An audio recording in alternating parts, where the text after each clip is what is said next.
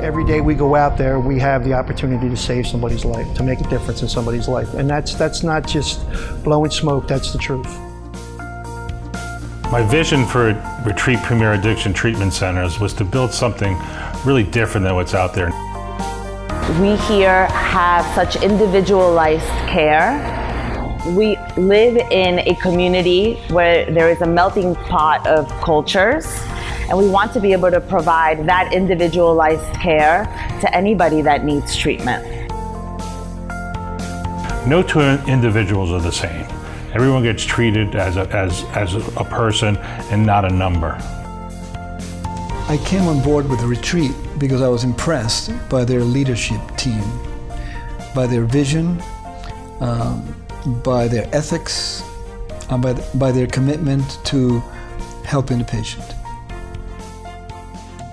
continuity of care is our main priority. We want the patients to be safe once they leave here and continue to, to learn about recovery and how to sustain long-term sobriety. One of the beautiful things about our programming is, is our holistic approach. What it does is it gives different platforms for people to, to engage and truly be invested in their treatment and taking that first step in really creating change and making progress uh, moving forward. The greatest feeling in being management in drug and alcohol is watching people come back after they do well. So many patients come through this program, they feel connected, they feel like retreat was a part of saving their lives. They get well, they get better, they stay well, and then they want to come back and give back to the place that they feel was part of saving their lives. Being a part of the retreat and watching our growth makes me so proud. We do it right every day, and we provide the highest level of care that you can find in this industry.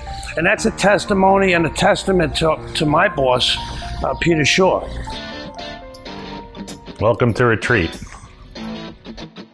This is our atrium. A quiet area where patients can come and reflect for the day, meditate, write in their journals, and just have quiet time away from everything else. This is our cafe. We serve almost 500 meals a day here between our patients and staff. Our executive chef and his team prepares some of the most phenomenal meals. These are our rehab rooms, where we have full-size beds, semi-private rooms where you share a bathroom. We have their own dresser, their own nightstand, their own desk, and their own closet. Patients feel really comfortable here. Our holistic approach to treatment, as you see, was the art therapy, music therapy, our recreational therapy that's done in our beautiful gymnasium and fitness center. We have all kinds of different activities that are done in this building. We have our community meetings, we have outside meetings, AA and NA come in every night. We have different talent shows. We really utilize this building for many, many different things, and patients seem to really enjoy it. One of the great things about Retreat Premier Addiction Treatment Centers is that you can see that it's a beautiful facility.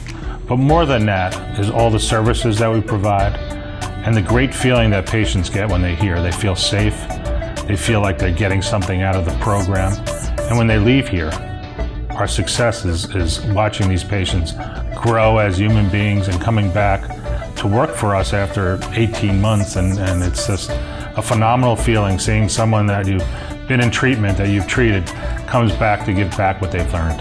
That's our success.